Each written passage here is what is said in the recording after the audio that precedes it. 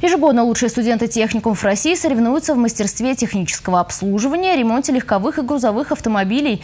В чем заключался конкурс и кто стал победителем об этом в нашем репортаже.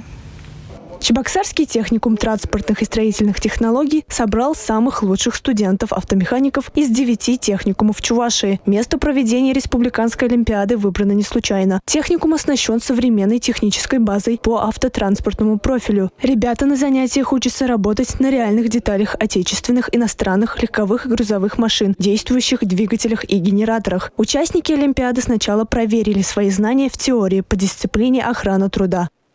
Я считаю, что вообще делается правильно, и это помогает ребятам как-то проявить себя. То есть э, очень важный жизненный этап у них получается, потому что необходимо вспомнить все теоретические знания, все практические навыки и показать здесь все это. Уровень сложности на уровне именно начального профессионального образования, то есть э, не особо как бы такие сложные задания, ну, не каждый сможет их сделать. Каждый участник в течение 20 минут должен был справиться с порученным заданием. По итогам Олимпиады самым умелым автослесарем оказался студент Чебоксарского техникума.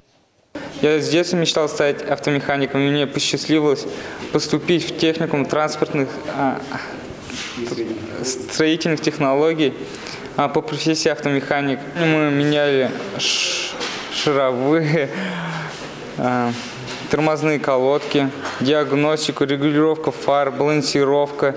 Я справился с а, заданиями. Студенты Чебоксарского техникума транспортных и строительных технологий уже второй год подряд успешно справляются с выполнением заданий, показывают неплохие результаты на всероссийском уровне. Теперь Никита готовится к выезду в Тамбовский политехнический техникум. Анастасия Алангина, Николай Яковлев, Республика.